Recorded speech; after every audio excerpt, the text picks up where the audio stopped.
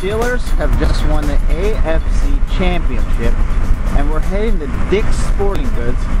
They're supposed to have T-shirts of the AFC champion and the AFC hats.